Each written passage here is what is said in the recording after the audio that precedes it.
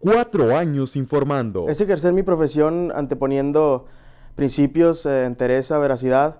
Y bueno, mi aportación en el ámbito correspondiente, en este caso el deportivo, consta en aplicar mis conocimientos, mi empeño, mi creatividad y por supuesto mis valores morales en todo momento. Líder informativo, periodismo con seriedad. Líder TV presenta Ojalata con Giovanni Raga. Bienvenidos a Líder TV, la televisión online más activa de Tamaulipas. Mi nombre es Giovanni Raga y esto es Ojalata, el espacio dedicado a las manifestaciones culturales de Nuevo Laredo y la región. Y hoy recibimos en el estudio a Gerardo Banda, un talentoso artista plástico de la localidad. Bienvenido Gerardo. Muchas gracias, muchas gracias por invitarme eh, a este programa. Es un eh, gusto para mí estar aquí con ustedes y a este espacio donde ustedes le dedican tanto tiempo a la cultura y al arte. Pero platícanos, ¿de niño fuiste de los que dijeron, cuando sea grande quiero ser artista? Pues sí, eh, aunque pareciera extraño, ¿verdad? Sí, sí, desde muy pequeño siempre se me dio esto del, arte. De hecho, eh, eh, la gente no lo sabe porque la gente me conoce más como un pintor, pero yo en realidad empecé como escultor desde muy pequeño y eso es lo que realmente la disciplina que más me agrada, la, escultura. Ya cuando fui más grande, pues cambió un poquito y empezamos a trabajar más con la, con la pintura. de hecho, hoy en día me dedico un poco más a la pintura, pero la escultura fue con lo que yo empecé a incursionar en las artes. ¿Cómo concebías el arte en aquel entonces de pequeño? Pues realmente no era una concepción de arte, ahora ya lo entiendo de grande que realmente no era una cuestión de arte. Yo empecé jugando realmente, eh, desde que vi un pedazo de plastilina por primera vez a los cuatro años de edad, ya no lo solté, era algo que, que empecé a, a, utilizar para fabricar pequeños juguetes, eh, empezar a a hacer pequeñas esculturas de objetos que yo veía y que me llamaban la atención y empecé a fabricar eh, con mis manos y con plastilina y después con otros elementos que fui anexándole figuras y formas, pero para mí era un juego, tenía bastantes juguetes de plastilina, yo veía algo en la televisión, no lo tenía que comprar, lo fabricaba con, con plastilina y empecé a trabajar de este modo y a dominar el material de una manera este, muy sencilla porque es un material que se prestaba mucho para un niño de 4, 5, 6 años, ¿verdad? Entonces digamos que la plastilina fue tu cómplice en esta entrada al mundo del arte. Sí, sí, y todo el mundo lo sabía y de hecho me regalaban en, en, Navidad, en mi cumpleaños y cualquier otra vez plastilina. plastilina o cosas para trabajar con plastilina. Y después más adelante cuando fui un poco más grande me empezaron a regalar otras cosas como barro o moldes o cosas que fueran un poquito más este, complicadas, pero la plastilina me facilitó esta idea acerca de, del arte, de la forma pero también acerca del espacio y del tamaño, sin querer, ¿verdad? Me di cuenta que tenía esta idea acerca del espacio y el tamaño, y también el origami fue algo con lo que yo empecé muy niño. Eh, yo aquí estuve en Laredo, porque yo nací aquí, pero viví la mayor parte del tiempo en Matamoros. Y un tiempo vine aquí a vivir unos meses y estaba en el jardín y nos llevaron a una excursión con unos japoneses que estaban haciendo origami. Entonces, cuando yo vi eso de niño, tenía 4 o 5 años, no recuerdo, tenía unos 5 años. Yo cuando vi lo que estaban haciendo estos japoneses, me pareció hasta magia lo que estaban haciendo. Y hasta aprendí a hacer una figura que me acuerdo de ella desde ese entonces, cómo hacerla y eso también me ayudó. Entonces siempre tuve esta concepción acerca del, volumen, del tamaño y de la forma a través de estos juegos. Y, por eso me gustaba tanto y se me facilitaba. No sé si eso haya sido algo que es porque me gustaba o porque se me daba, pero me, se me facilitaba hacer esto con las manos siempre. ¿Y en qué momento te diste cuenta que eso podría ser una expresión artística, de transmitir algo? bueno, como todo desde adolescente, ¿verdad? Ya es que cuando eres adolescente tienes mil opiniones acerca del mundo y entonces fue cuando empecé a ver que, que para mí el arte, y todavía lo es de hecho, es como una plataforma ideológica. El arte para mí es, es un modo de ventilar mis opiniones acerca del mundo que me rodea, de lo que siento, de lo que pienso, de lo que creo y ha ido evolucionando y cambia así como yo he ido cambiando, ¿verdad? A través de los años. Pero me di cuenta que era la posibilidad de que yo dijera algo o que expresara algo de manera desordenada tal vez durante mi adolescencia, pero ya conforme pasaron los años, pues este, eh, fue un modo de que yo organizara inclusive mis ideas acerca del mundo que me rodeaba y de expresarlas de un modo que otras personas tal vez no podían, que era a través de algo gráfico. Después de que reconocemos eh, e, el deseo de lo que queremos para nuestra vida, hay que tomar un, camino que es el de la formación. ¿Tú cómo te instruiste en, las artes plásticas? Soy autodidacta completamente. Totalmente. De hecho, ahorita estábamos comentando que yo, de hecho, soy abogado, eh, egresado de la Valle del Bravo. Y, y yo, pues, como se me facilitaba siempre esto, siempre he sido autodidacta y siempre he tratado de investigar, de buscar, de experimentar. Sobre todo mi trabajo es experimentar con materiales. Ahí es donde viene mi enseñanza, sobre todo. Sobre todo en eso. He hecho a perder mucho, bastante. El 80-70% de lo que yo hago como artista, de lo que fabrico, son intentos fallidos, es lo que la gente no sabe, ¿verdad? En el proceso creativo hay muchos intentos fallidos hasta que llegas a algo que te agrada, que tal vez esté proyectando lo que tú quieres, pero eh, en realidad mi formación es autodidacta, es en mi casa, es en, en el lugar donde esté, estar intentando, experimentando. Y sí he tomado algunos cursos, pero ya estamos hablando de hace 5, 6, 7 años y he tomado algunos talleres con algunos artistas interesantes y con algunas personas que son conocedores de ciertas áreas, pero mi formación básica principal es, es esa, la, la del eh, eh, la autodidacta. Y porque para mí lo más importante, y a veces se nota en mi trabajo, algunos que conocen mi obra, pues sí está un poquito rústica en muchos sentidos y me gusta eso. Antes traté de refinarlo y después me gustaba, me gustaba que tuviera esta, eh, este aspecto rústico, tal vez inconcluso en muchas partes, pero así me gusta. Nunca lo quise refinar posteriormente.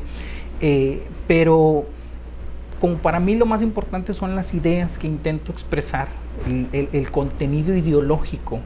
Mientras se mantenga ese contenido ideológico en la pieza, eh, lo técnico, si bien es importante, eh, siempre lo he dejado en segundo término.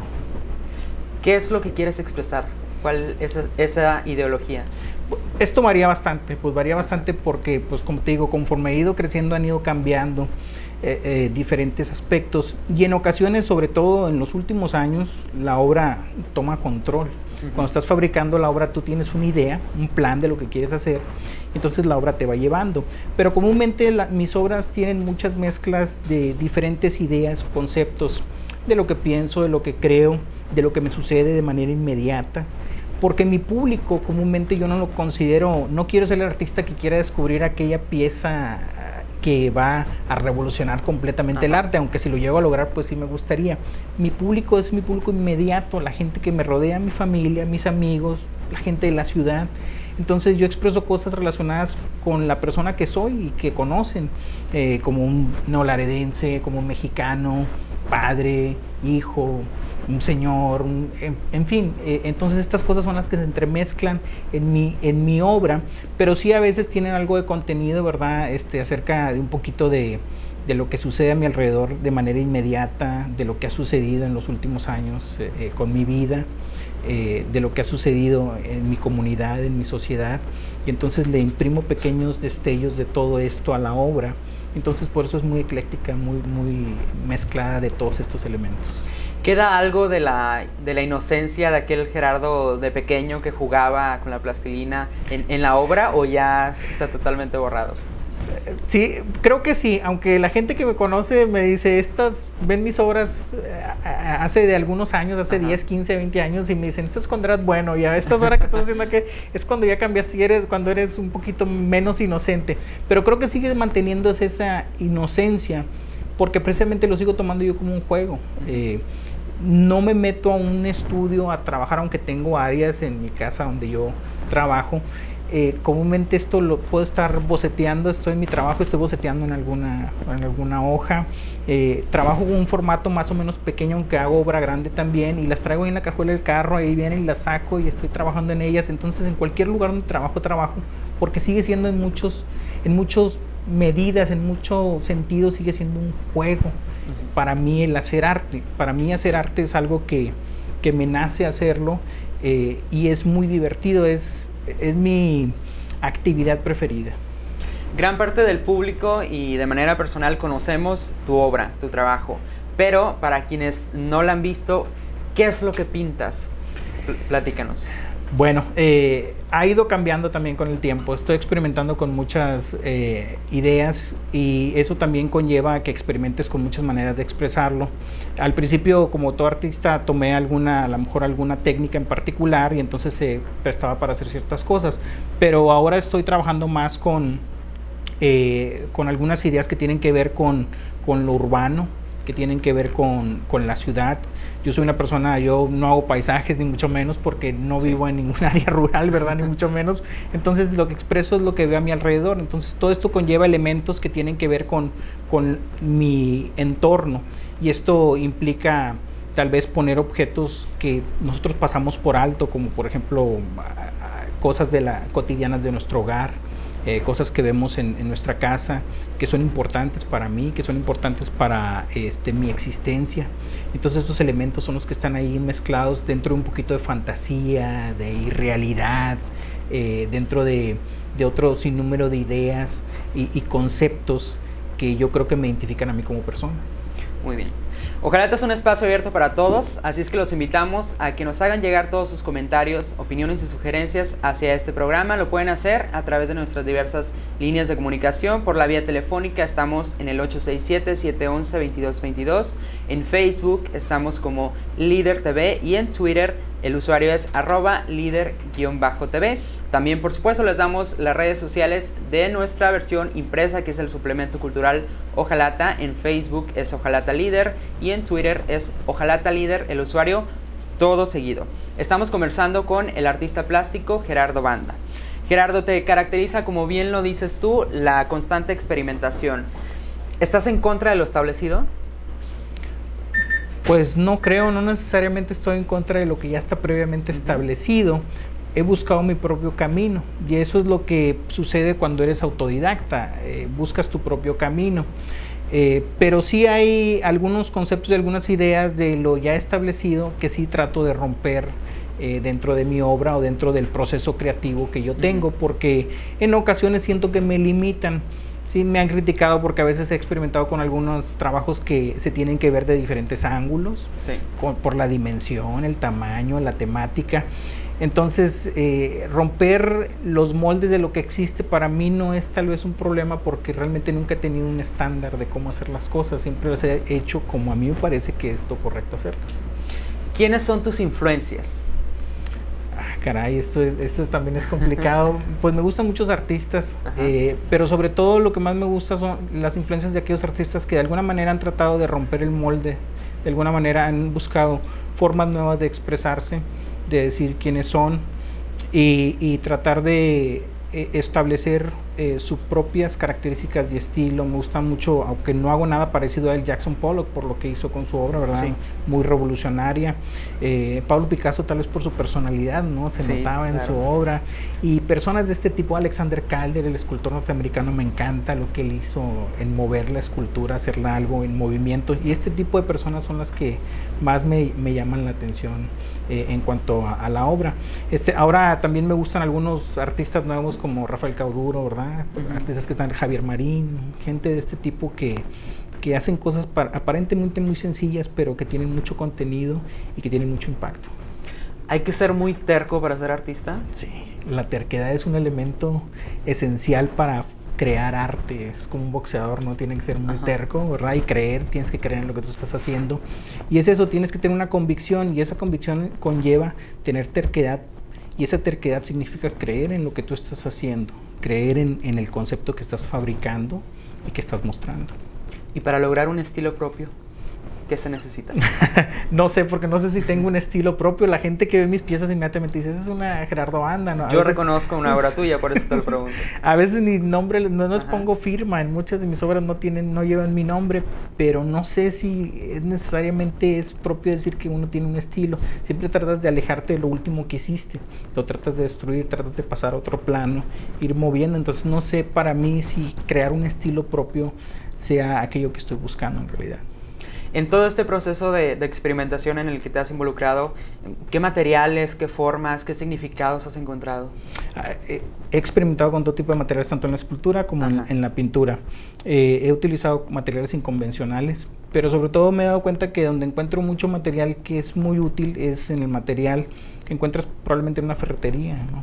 Eh, que encuentras material de desecho, material que ya nadie quiere, eh, buscas inspiración en revistas, en otros objetos, materiales, en mis pinturas eh, la técnica siempre la pongo mixta o lo mejor sería indefinido porque utilizo desde lápices de colores, plumas, marcadores, pintura acrílica, óleos, acuarelas. Eh, busco crear un efecto, un cierto efecto y no importa cómo aplique el material, siempre y cuando se fabrique o se pueda lograr ese efecto, lo utilizo. Lo importante entonces sería llegar al resultado que quieres sin importar cómo. Así es, así es. Ayuda mucho que, tengas entrenamiento, porque cuando tienes un entrenamiento eh, eh, técnico profundo, ¿verdad? Estudiado, entonces sí ayuda mucho. Pero este, también ayuda mucho a experimentar porque encuentras eh, te topas con cosas que de otra manera no podrías haber descubierto. Entonces las incluyes en tu obra por accidente. Y, en ese caso, como dices tú, ¿verdad? Lo que importa es llegar a un resultado, no tanto cómo llegas a él. Aunque es muy divertido cómo llegas a él si lo haces de una manera autodidacta. ¿Por qué crees que en general, bueno, en este caso tú como artista, pero no le ponemos tanta atención a, esas cosas cotidianas que nos pudieran ayudar para resolver tantas cosas como lo, tú, tú lo haces en tu arte?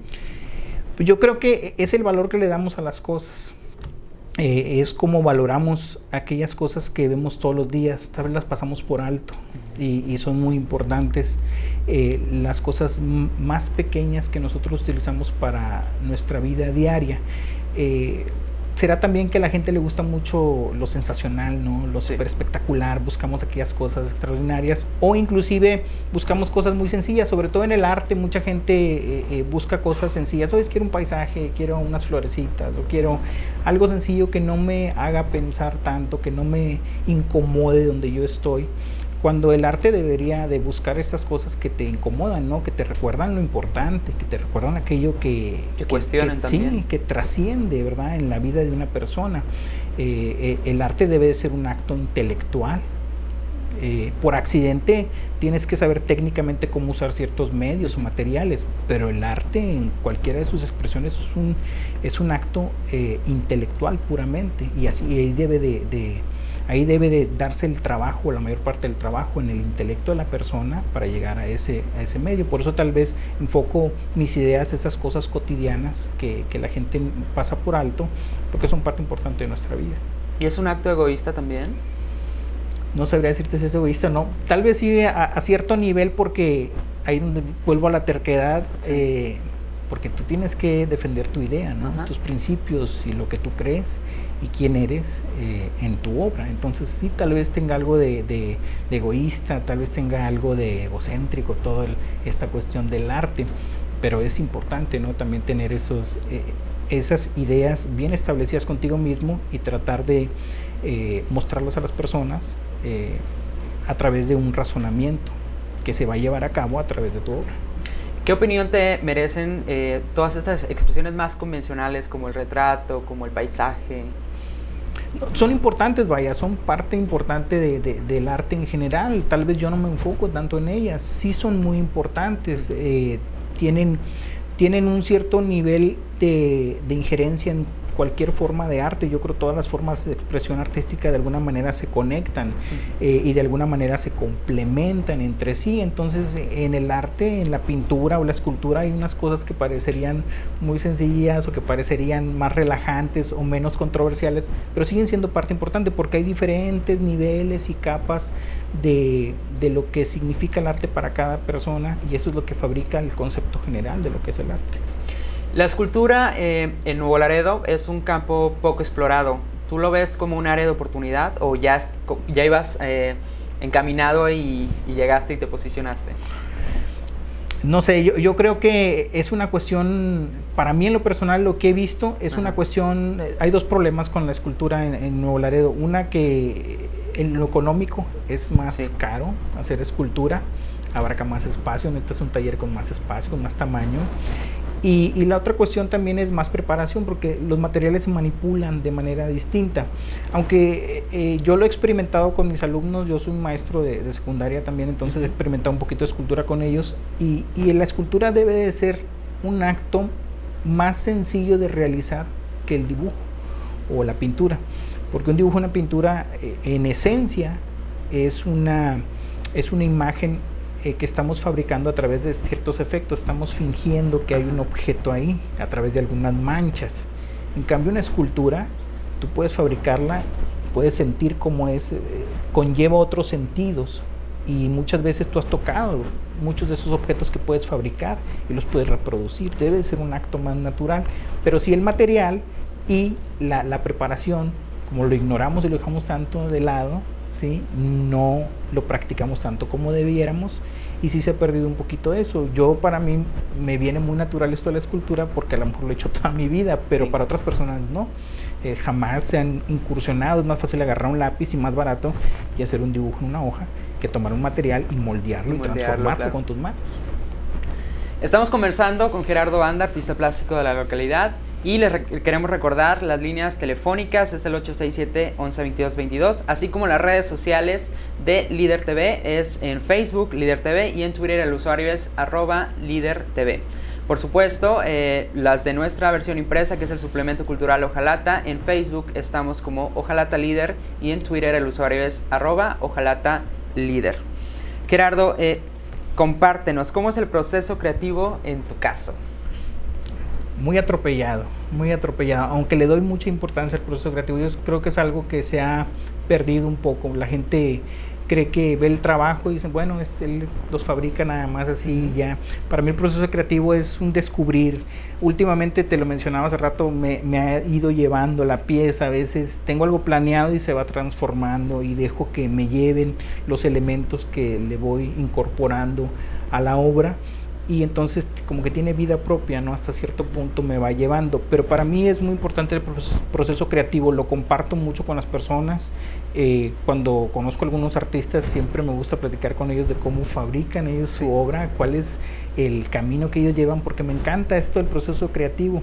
Y yo creo que nuestra generación de artistas eh, se ha enfocado mucho en esto y ya no estamos en un estudio escondido, ¿no? fabricando nuestras piezas y luego las sacamos un día en una exposición, no se comparte mucho con esto de la tecnología, todo esto del proceso creativo y es muy importante porque nos dice mucho de qué es lo que está haciendo el artista, cómo lo está haciendo, por qué lo está haciendo, los motivos que lo llevan a, a fabricar y qué es lo que nos quiere decir. Entonces ver todos estos pasos del proceso creativo para mí me fascina, me fascinan esos programas de realidad donde los concursantes están fabricando algo, ya sea cocinando, pintando, haciendo cualquier otra cosa, porque veo el proceso de crear y me encanta que cada uno tiene sus manías, sus motivos, sus técnicas, y entonces al fabricar algo, ¿verdad? Te comparten quiénes son ellos.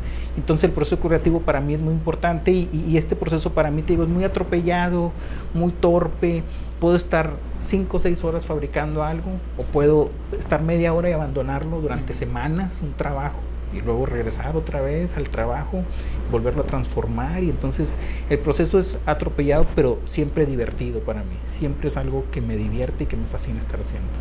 ¿Cuentas con un estudio o un espacio destinado para ello? Toda mi casa. toda cualquier mi casa, lugar es bueno. Cualquier lugar es bueno, pero toda la casa tengo lleno de pinturas y botes y esto y lo otro, aquello, pinceles, lienzos, plastilina, barro, alambre, todo lo que utilizo para hacer mis figuras o mis pinturas o mis dibujos. Están por todos lados el carro y en todos lados donde me encuentro, este, ahí siempre trato de, estar fabricando, porque como un proceso mental para mí, un proceso intelectual, pues entonces en cualquier lugar es bueno este, a veces quieres estar solo y vas allá, te recluyes a un lugar y estás, y a veces estás platicando con alguien, estás fabricando, es, es, depende del, del, momento y depende de lo que estés haciendo. ¿Y cuáles son tus costumbres, manías, eh, como dices, a veces solo acompañado con música, en silencio, ¿cómo, es? Me gusta tener música, no puedo estar en silencio completamente, yo creo a veces cuando estoy solo tengo la televisión prendida o el radio, eh, siempre tiene que ver algo que me esté estimulando de alguna manera. Ahora con mi hija, eh, eh, ahí está sentada ella conmigo, y yo estoy trabajando en mi obra y estoy, y ella está conmigo y papá, esto, lo otro, y estoy interaccionando con ella y trabajando con la obra. Y, sí, es, es, parte de mi vivir diario, entonces todas estas manías es mi existencia, ¿no? Estar haciendo todo y, y a la misma vez tener, llevar mi vida y hacer el trabajo juntos, de alguna manera estarlos mancomunando. Eh, sí, soy muy, como soy muy desordenado, pues sí, siempre muchas veces pintura tirada, este tipo de cosas que, hacen entretenido el trabajo, pero esa es, esa es la manera en que yo trabajo, ¿verdad? ¿Siempre tienes en mente lo que vas a, realizar o te has llegado a enfrentar a, una, a un cuadro en blanco, por ejemplo?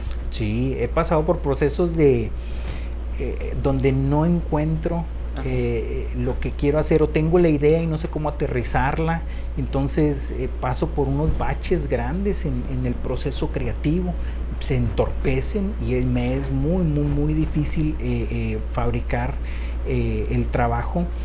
tal y como yo quiero, a veces lo hago y luego no me gusta, entonces sí paso por baches grandes, inclusive baches de meses, donde no fabrico nada que me agrade o simplemente no tomo nada últimamente ya tengo un buen rato que, no había hecho nada, ya estoy otra vez fabricando y estoy publicando otra vez en mi página algo de, mi obra, pero sí, sí es muy común pasar por esos procesos.